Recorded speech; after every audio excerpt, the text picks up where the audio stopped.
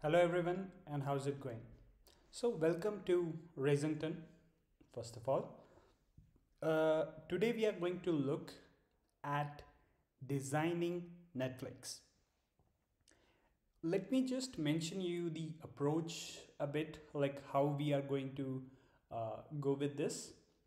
We will have a basic template that you will realize as we go through it that uh, we will have our requirements, functional requirements and uh, non-functional requirements, estimation, storage, tables, APIs, and these kind of things. We, we won't dive deep into these things um, more uh, like some specific things like APIs we might not do in this uh, design but to for something else like designing Instagram it is necessary to do that it doesn't make much sense here uh, we'll come to that why it doesn't make sense in some time.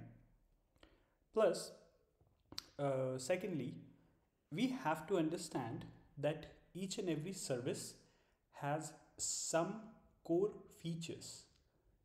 And while this is a system design of netflix and we have to design the uh, netflix in its um, some core features and some side features not very uh, important but we have to wrap up this entire design pretty quickly and then dive deep into some of the areas to show our expertise to uh, do some more optimizations and then do a, a, revise of everything like whatever we have done.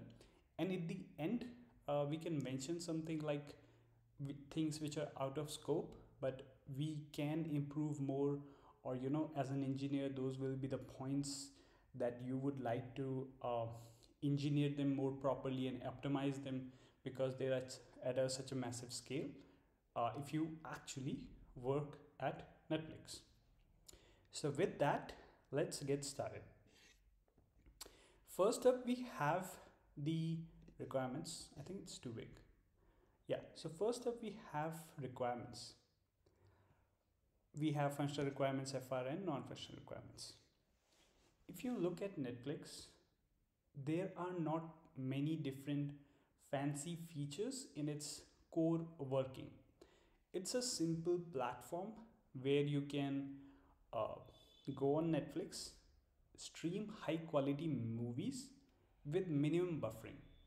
That's the point. Like, even if your internet connection is not the best of the best, you should be able to stream Netflix uh, in good quality that being said, Netflix does not stream movies uh, in very low qualities like 360p or 480 pixels like YouTube does. And we are not going to uh, do that as Netflix also does not. It will, at the minimum, uh, stream at 720 pixels. So we are going to consider that and one more quality above that as our streaming uh, quality is concerned. Then for minimum buffering, we are going to focus on that also. You can say that this is sort of a non-functional requirement, but this is a very, very core feature and everything that we are going to do will be in, will be uh, keeping in mind of that. I think I could have framed the sentence differently. Uh, then that when that's done, uh, we can focus on non-functional requirement another important thing that I think we can mention that is actually out of scope but you can look at that. That is uh, searching. Even though Netflix does not have like so so many videos uh, like YouTube because on YouTube anybody can create videos and every time you will try to search something there is so much content Whereas when it comes to Netflix, there are a limited number of movies and series or videos in general which we can search through. Also, Netflix will, you know, not search in everything.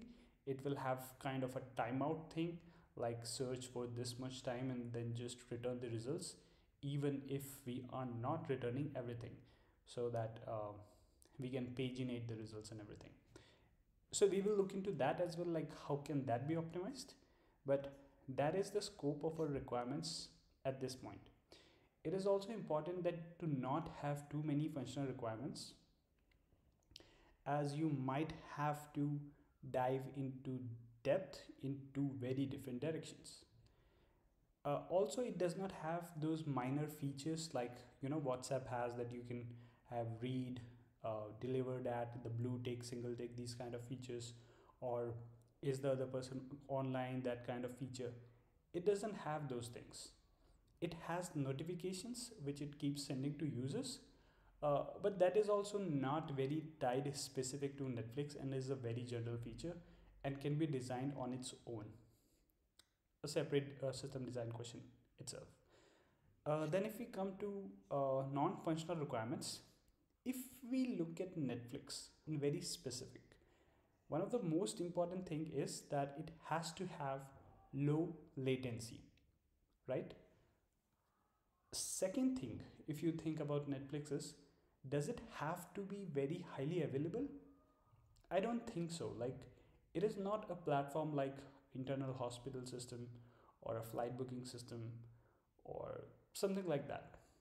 It is just a streaming platform if it is down for a few hours to few days in a year uh, that is like two to three nines of availability two to three nines is like six hours to around 3.6 days in a year and that is totally fine like if it is down to that much.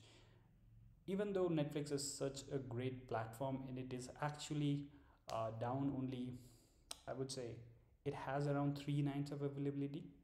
That is like down only for 3.6 uh, around 6 hours a year. That is pretty commendable. If you look at consistency there you do not have to have so much consistency. Uh, plus plus the point is that when you are having user data even if there is some level of inconsistency that is eventual consistency it is fine.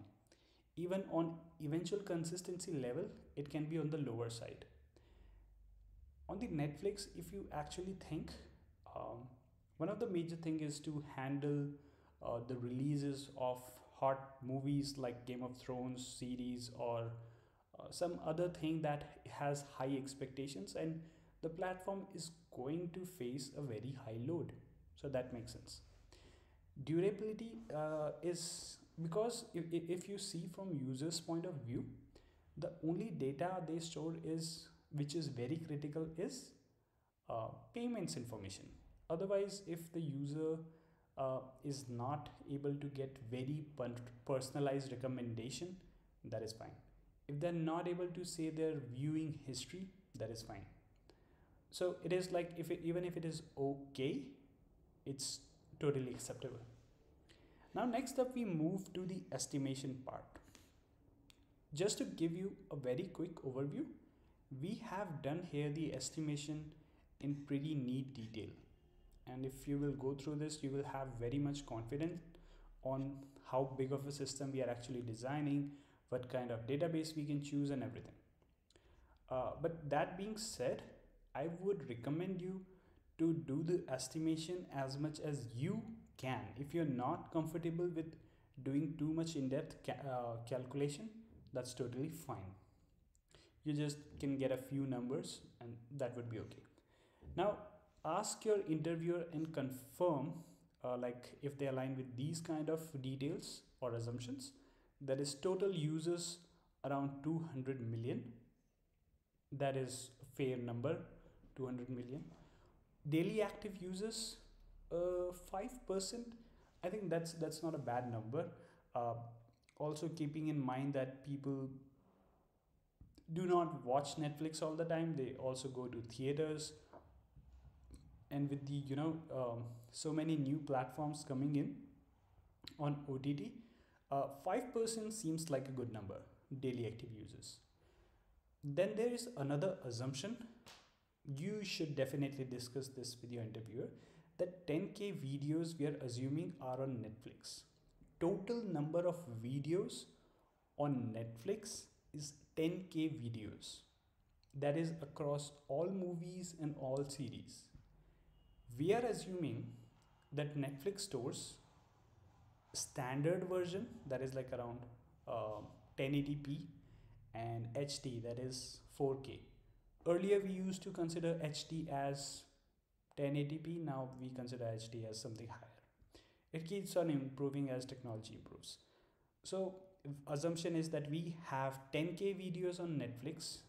Each of them is 1 hour long and we store standard version of it and HD version of it both the qualities not more than that uh, we are estimating but that's fine then when it comes to estimating the storage of these videos we can say um, that a SD video let me find it the SD version video standard uh, quality can be 10 GB per hour and the HD one can be 20 GB per hour uh, I think that's uh, like totally fair kind of assumption and estimation of this sort. Then we have multiplying this by 10,000 because we have 10k videos and we are getting around 300 TB. 300 TB is not a very large amount of data if you compare it to something like YouTube because it has petabytes of data, even thousands of petabytes of data which is much more in comparison to this. So we understand that it, this is not so much data, but so it will um, help us. We are on the advantage that we don't have to uh, do too much to have low latency, right? We, we have to note this part that because we have we don't have too much video like YouTube, we don't have to work too hard to have a very low latency. Now, if I talk about the storage of metadata, uh, metadata is more like, uh, you know, like one is that we have movies, these videos. Second is that we have uh, user data. That would be, you can say that each and every single user has some 10 KB of uh, data on the platform, whereas each movie has the, the user data I have not mentioned here, but I'm estimating the metadata of each move. Uh, so first up, I'm considering the users metadata and then I'm considering for the movies. Okay, so storage of metadata 200 million users are there. If I assume that 10 KB of data for each user, that would be around 2 terabytes of data it is not a humongous level of data because Netflix has 200 million users and spread across the globe. Not a very wild data. Plus 10k videos, 10 KB each, 100 MB. Uh, this doesn't seem.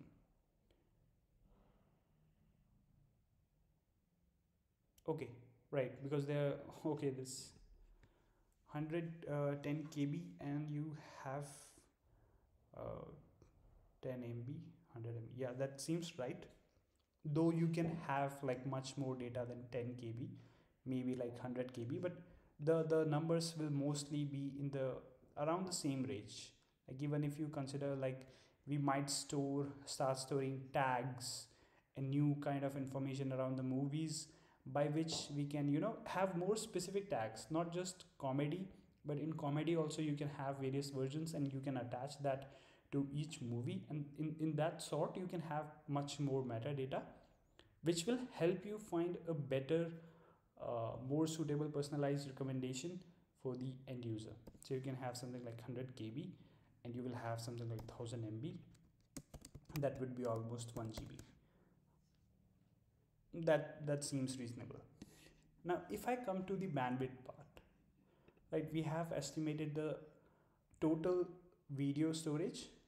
Now we have estimated the total metadata that is user data everything like viewing history and everything. And then we have uh, video metadata like the title and everything. Also you can see that we are not separately estimating the thumbnail that we have or the trailers that we have of Netflix videos on the platform because they wouldn't budge this estimate a lot. It would still be in the same ballpark range. Uh, now if we come to the bandwidth part uh, this is the calculation we go through. Like total video size delivered per second right? So if we have 10 million users who are active every day based on the estimation that we have 5% of 200 million active every day let's say that they watch one video in a day. That's one video is like 1 GB now 10 million people are watching one hour long video every day. And average size of this is like uh, we have this and this. So let's uh, keep it keep our estimations on the uh, higher side. It's always uh, best to keep it on the higher side right? Uh, so if we uh, assume that 20 GB or we even can take an average of these two. Like we have 10 GB and 20 GB let's assume 50 50 percent and around 15 GB so 10 million into 15 GB uh, divided by the number of seconds in a day we'll get something around 1.7 TB per second. It's a very very high bandwidth like a bandwidth in terms of terabytes. But also I would like to mention that platforms like Hotstar see much more benefit than this when they are streaming an IPL final match or uh, an India match in World Cup final or semi final or big um, knockout matches. They have like 75 terabytes of data or even more, 75 terabytes of bandwidth or even more. Uh, that being said, this is a very huge number of bandwidth, but not a very wild number in comparison to platforms like Hotstar or something like um, even YouTube. YouTube has a much, much greater uh, bandwidth because they have much more videos, much more users, and everything. So, if we come to the CDN size, so let me just uh, mention like how are we assuming this? We are assuming that we are going to put 20% of our total videos into our CDN. Why? Because there's a 80-20 rule like Pareto's rule like 80% of the users will consume these 20% of videos. So keeping that in mind and even you know like Netflix can suggest Netflix can control at a level what all videos it will suggest you. Like let's say even if you ask for movies like psychological thriller movies it will only be searching its 20% of the database. And that's totally fine. Like at least in the initial few searches like first 5 6 pages. And if you keep scrolling down and if you need more movies maybe it can get those. And if you click on those you might see some buffering because they were not already loaded into the CDN but that's totally fine because a lot of users don't do that. Netflix tries very hard to deliver you means to deliver its users some specific number of movies some specific percentage of movies like 5% of the movies that is why they have the concept of top 10 trending movies in india. Why? So that most of the users like 70% 80% of the users land on that. Uh, um, i don't think 70 80% of the users land on that but there is a very good uh, fair chance that uh, 30% of the users are watching movies from the top 10 movie, trending movies in India. And then again, some, you know, we have number of uh, top list like uh, Academy movies and everything. In that sense, uh, it is a very fine estimate. And I would say this estimate is on the actually the upper side, right? So 20% of total videos 20% of the total videos total videos is 300 TB 20% like dividing this number by 5 that's 60 terabytes of data not a wild amount of data redis cache size like we can put this uh, user metadata in the cache. One thing to note here is that we can have two types of redis cache like two category of data in the redis cache. Will can use the same redis server but like let's uh, say they are distributed across the globe and you have a redis server for a particular uh, region you will have user metadata and you will have movie or um, video metadata. The user metadata does not have to be cached across the globe. Like, why do that? It's totally unnecessary because a user mostly will be watching the movie from one single region. At the same time, if even if they do travel from one region to another, uh, they will face like a few seconds of latency, uh, and that's really fine, right?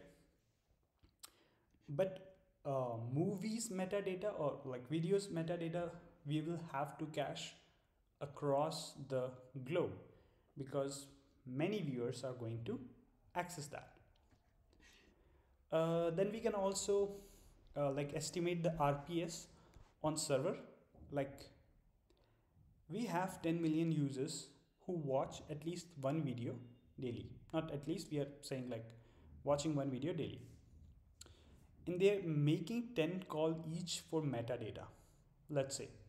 We are only calculating the rps for the uh, our uh, this metadata part not for our videos because they will be directed to cdns and we don't have to actually estimate the rps for that uh, we are doing this uh, basically to select what kind of database we'll store for metadata like a SQL, NoSQL or something like Cassandra or whatnot. Columnar means. Uh, so 10 million users watch one video daily. So they make 10 call each for the metadata. That's a fair estimation. Um, and that's like 100 million calls per every second. That is 1.1 k RPS for metadata. And now even actually uh, some percentage say 80% of these will hit to RP uh, to our Redis server uh, that is caching our data and only 20% will move forward. So you can see that the data um, that we are doing that we are fetching we might even be making more calls right? Like for personalization and for everything all these calls will still go to our Um, uh, relational or non-relational database whatever we pick for our metadata. But the point is this is still very very low rps like even if it is 50k rps that is like almost nothing. Even until it reaches to something like a million we are not getting very serious here. So we can choose any kind of database postgres mysql nosql. You will not face issues with any of the databases at this scale but still uh, we can consider other points like if there are any like we get to that in just a moment. Uh, next up this is uh, like the important part. Uh, I al always like to discuss the protocol uh, that we are going to use to exchange data between the client and uh, whatever system we are building the server if I talk something about a messaging application like WhatsApp, we are going to use something like WebSocket. If we are designing something like uh, Zoom, WebRTC protocol we will use. So it is important that in this scenario also, uh, we talk about this, especially if it is different from uh, your HTTP call, regular HTTP call. So we have okay I've already enabled this. So we will use for video streaming protocols we use HLS uh, this is for Apple devices and Dash. That is for all the other devices almost. Dash is something like dynamic adaptive streaming over HTTP what does it mean by adaptive? Uh, adaptive in the sense like when you have uh, a video a video is made of like I will just uh, mention here. Like we can we have video which is made of frames. Like in one minute you can have many many frames. Like in, like in one second you can have around 60 frames. So these are like images which are played one after the another. So you see it as a uh, video actually but these are all like images put together. And these images are made up of pixels right? Uh, pixels are small tiny blocks which represent your uh, image that is frame. Each of these pixel like every single pixel can be denoted by 8 bits 16 bits 24 bits.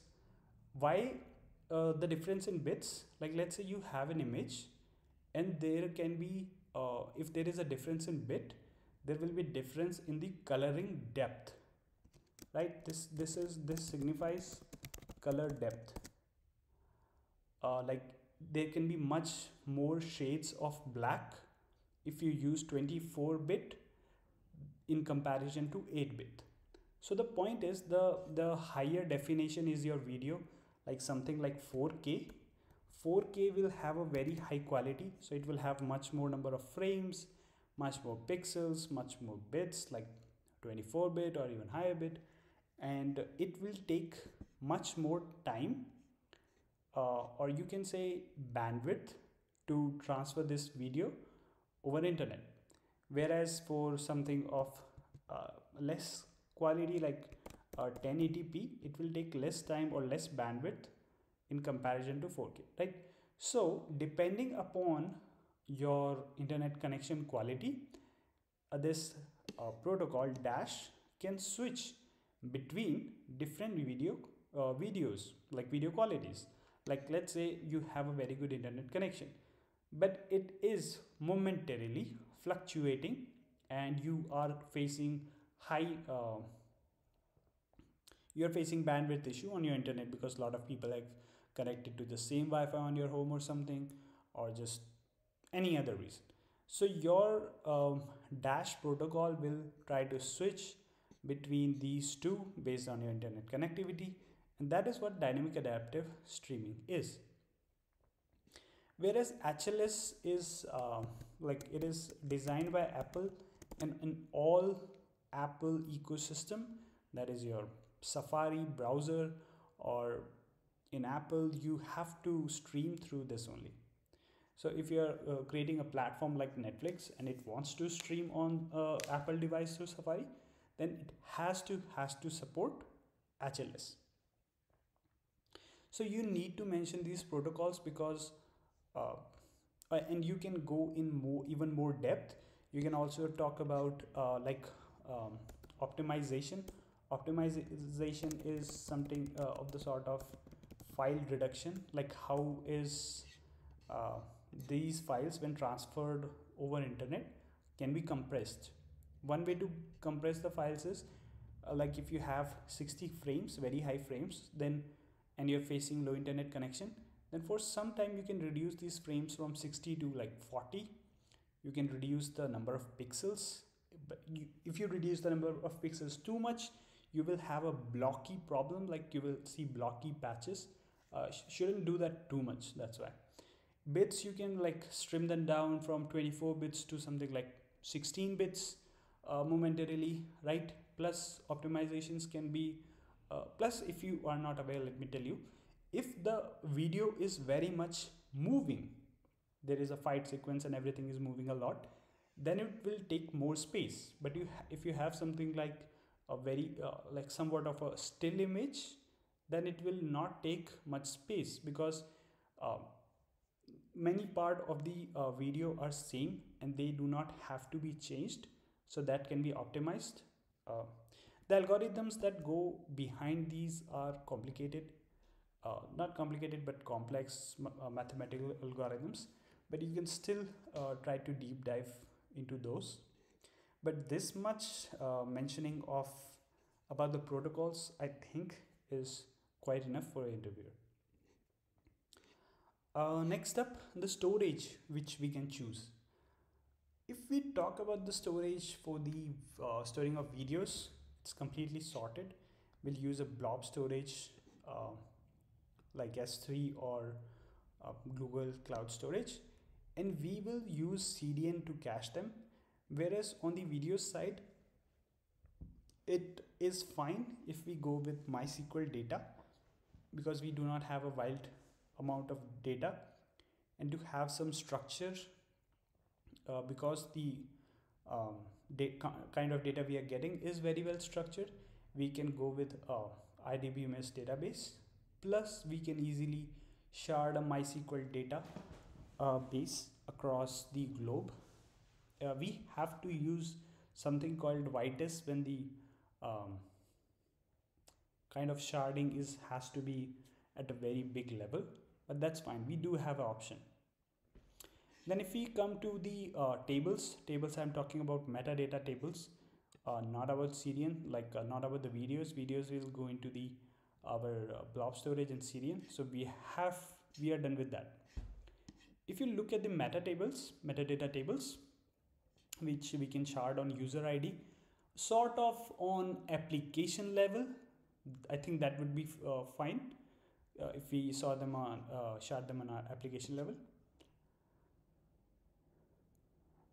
If, if you uh, like by chance not getting the point like how when can we um, shard these on application level I can create a video on that uh, let me know in the comments right uh, plus user user table we can have these basic details movie we can again have these basic details id title uh, description tags not a big thing. Tags table we can have something like you know comedy movies uh, romantic movies feel good movies action movies thriller horror whatnot uh, plus we can have a movie tag table in which we will have a combination of these two like a movie id and a tag id uh, movie id can repeat in this like a movie can be funny and an action movie or it can be a horror movie and a funny movie.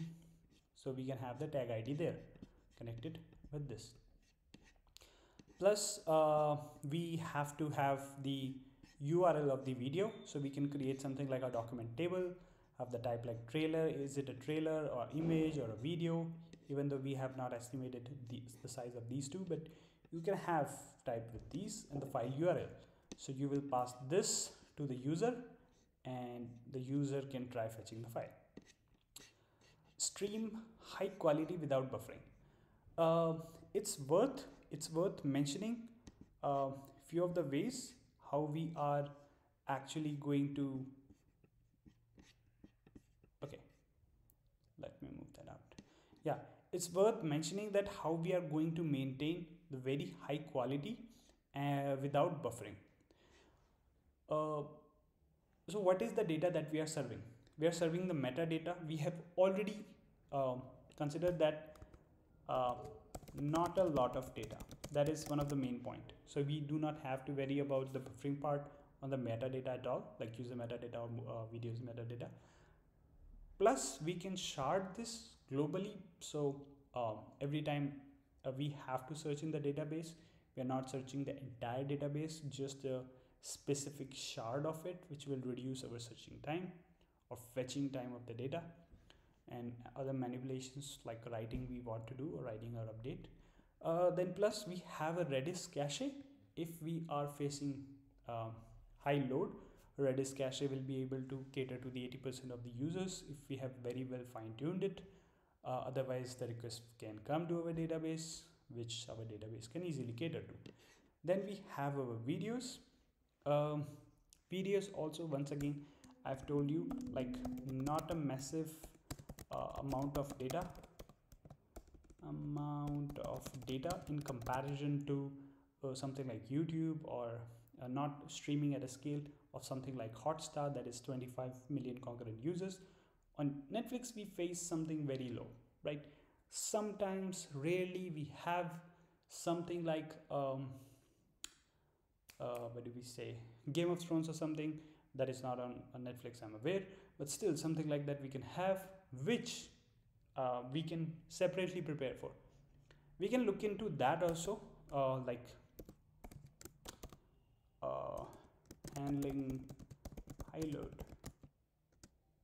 okay so i will mention a few points here.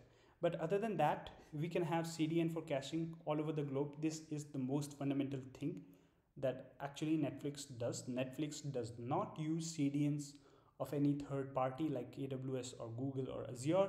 It has developed its own cdns and it has spread them across the globe.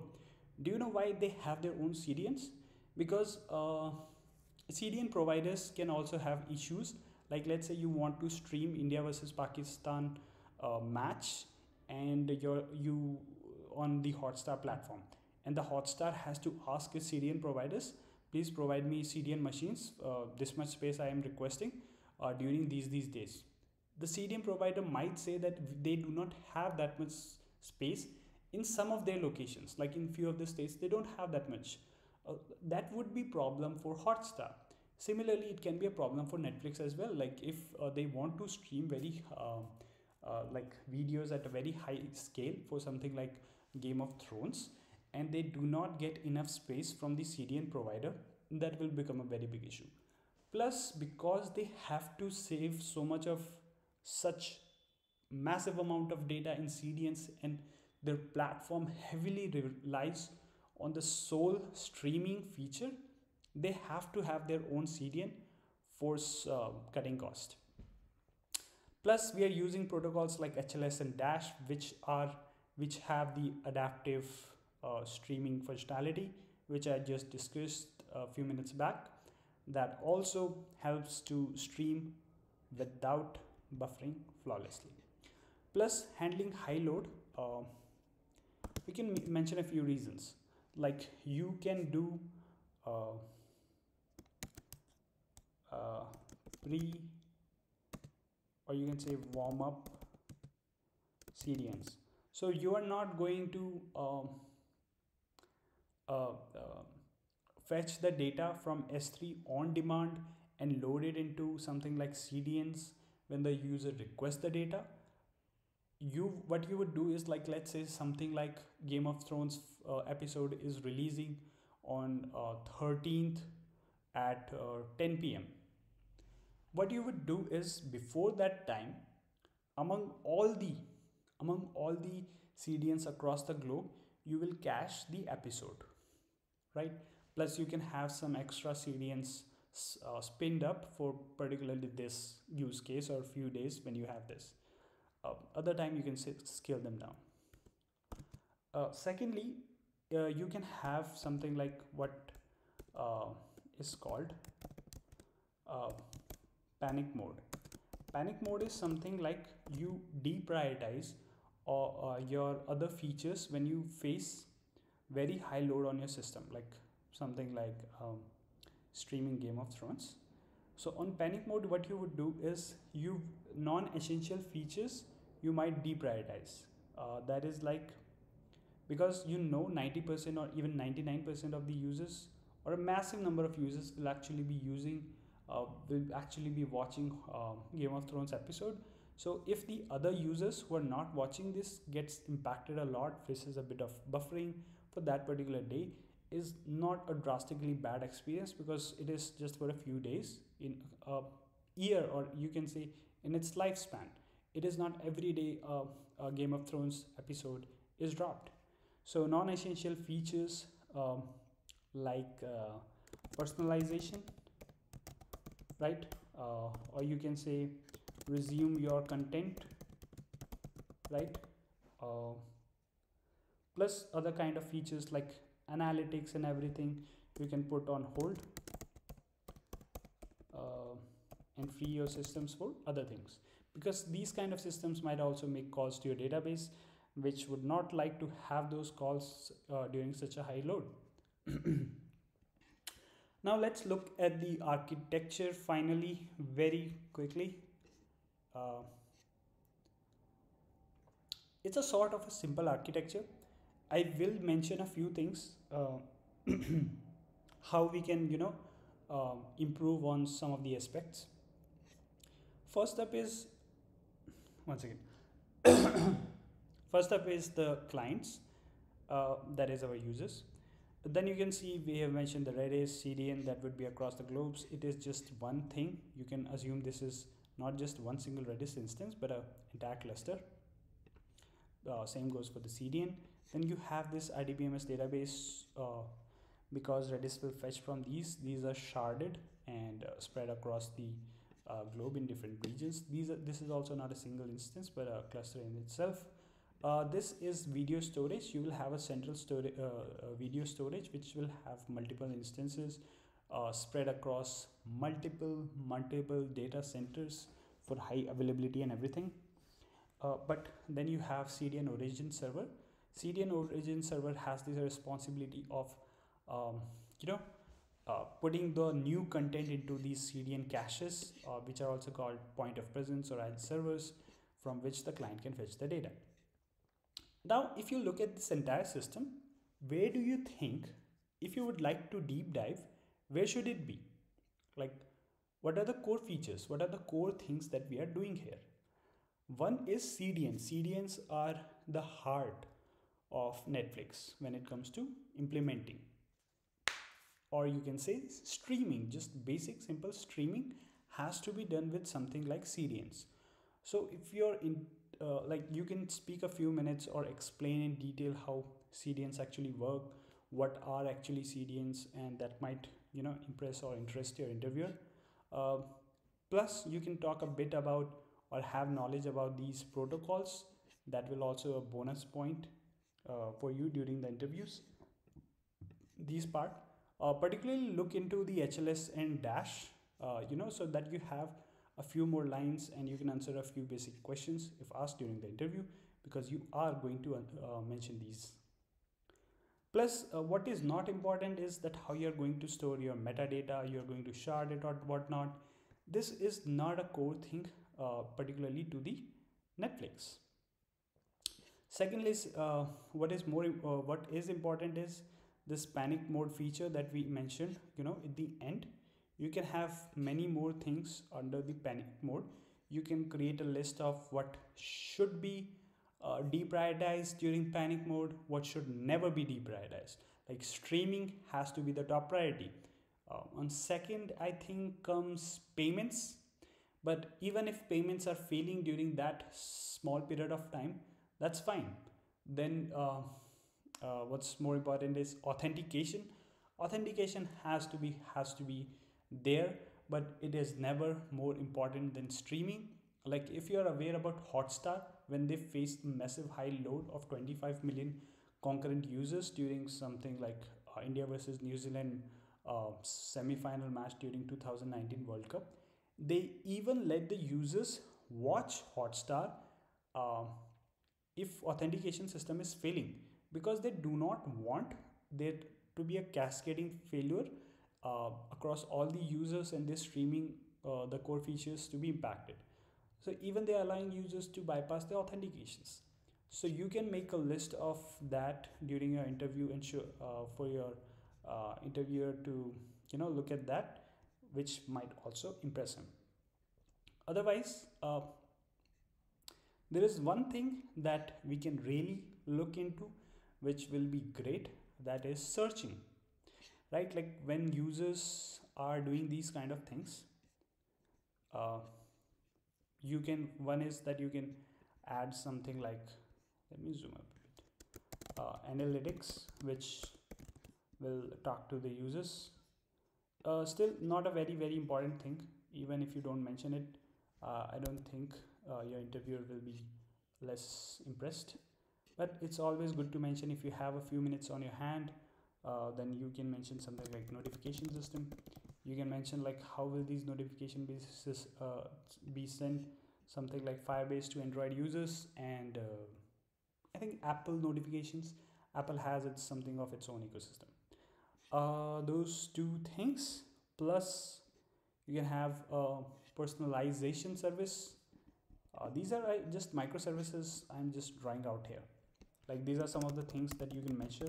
A interviewer will be impressed that you could actually think of those.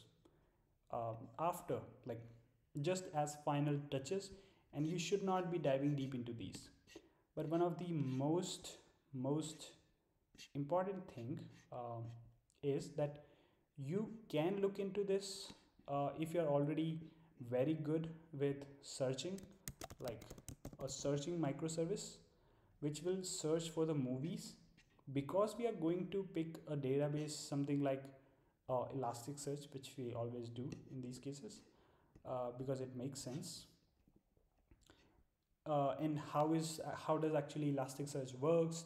If you are searching for something that cannot be found in elasticsearch what behavior will it have some underlying functionality like what does it actually run on like something like lucene and a bit about its internal working and plus its characteristics at high scale.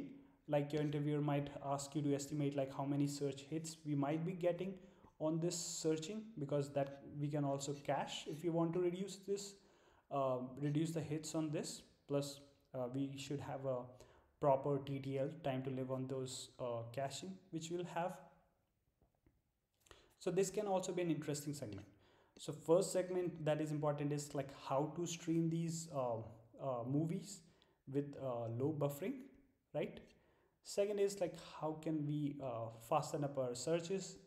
Third if you would like to pick which will be like not very deprioritized like not very prioritized this like what kind of uh, notifications we would like to send? Sending notifications is a uh, system design question in its own but like what kind of uh, notifications you would like to send.